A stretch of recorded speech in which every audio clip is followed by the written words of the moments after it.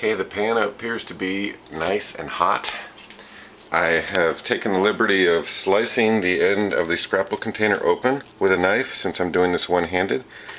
And I am also prepared with my slice of cheese, my egg, and my bread. And the toaster is out.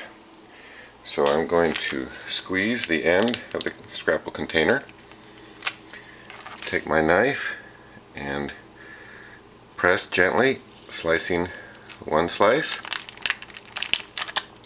slicing another slice, and those are the two slices we'll be cooking today. Grab the slice,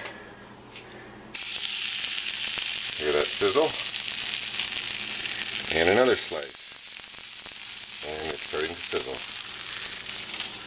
Push the scrapple back into the container so it can be used later.